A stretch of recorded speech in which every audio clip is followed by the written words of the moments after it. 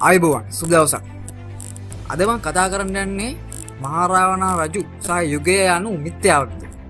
හොඳ වීඩියෝ රන කල මුලින් මතක් කරන කැමති තමත් අපේ යක් පඩක්ෂන් YouTube චාලක සබස්ක්‍රයිබ් කලනත්තන් දම සබස්ක්‍රයිබ් කල එකතුවෙන් මොකද මේ ඔගොල්ල බලන්න ඕනිම වීඩිය එක අනිවාර්යම බලන්න.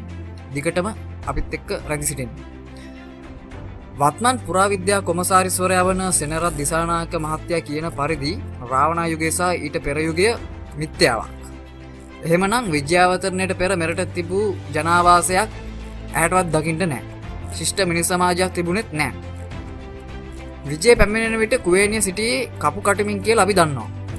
එහෙමනම් රෙදි පිළි භාවිතයට විද්‍යාවතරණයට පෙර හෙලෙන් හුරුවෙලා තිබිලා තියෙනවා.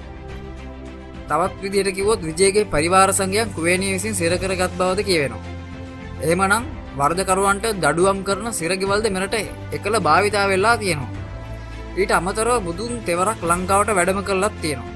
එහමනම් විද්‍යාවතරණයට පෙර මෙරට ගැඹුරු බුදු දහම තේරුම් ගත හැකි බුද්ධිමක් මිනිස්සු කොට්ටාසයක් වාසය කරලා තියෙනවා. කෙනෙකු යම් තනතුරකට පත්තුවා නම් ඔහු එම තනතුරට සාධාරණයක් කළ යුතුයි. ඉහත දක්වා ඇත්තේ විද්‍යාවතරණයට පෙර ලංකාවේ ශිෂ්ට සම්පන්න මිනිසුන් හිටි බවට සරල උදාහරණ කේපයක් පමණ. තව සංකීර්ණ උදාර එමට තියෙනවා. විවිධ වීඩියෝලි මම ඒවා ඔගොලන්ට කියලත් තියෙනවා. පඩියක් ගෙවල පුරාවිද්‍යා කොමසාරිස් තනතුරේ අද වන විට ඇත්තේ පඹයකු බැව් මාගේ මෙන්ම ඔබලාගෙත් මතය වෙනම ඇති කියල මම හිතනවා. අප සතුව ප්‍රෞඩ ඉතිහාසයක් තියෙනවා. රාවණ යනු ඒ ඉතිහාසය සුවිශේෂී සලකුණා. එක කාටවත් නැහැ කියන්න බෑ. විෂපෙව් හියක් වැදීමෙන් සීමුරජා වූ රාවනා රජු අවධ කිරීම යනු හිතාමතා වැලලූ අපගේ එම ඉතිහාසය අවධි කර ගැනීමම නොවේ දැයි මෙය නරබන ඕක ඕගල්ලන්ගේ මං අහනවා. ඉතිහාසය පාදා ගැනීමට හෙළ ඉතිහාසයට ආදරය කරන හෙළ ඉතිහාසය සෙවීමී පිපාසය ඇති සුදෙස්සකු පුරාවිද්‍යාව කොමසාරිස් තන්තුරට පත්විය යුතු.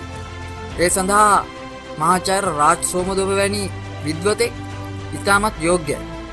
ඉතිං මේ වර්තමාන සෙනරත් දිසානාක පුරාවිද්‍යා කොමසාරිස්වරයා සිදු කරන ක්‍රියා කලාපයන් දිහා බැලුවාම හුදෙක්කය විහිළුවක් කියලතම අපිට හිතෙන්නේ. ඉතිං මෙවැනි වීඩියෝකින් නැවත හමුවමු. මේ විඩියෝ ගෙනාවේ ඔගලන්ට දැනුමක්ගීමට නෙවෙයි මේ සඳහා පිළිතුරක් පැවසීමට. හොඳයි. එනම් තවත් දවසකින් හොඳ වීඩියෝකින් අපි හමු බට සුබ දවසක්.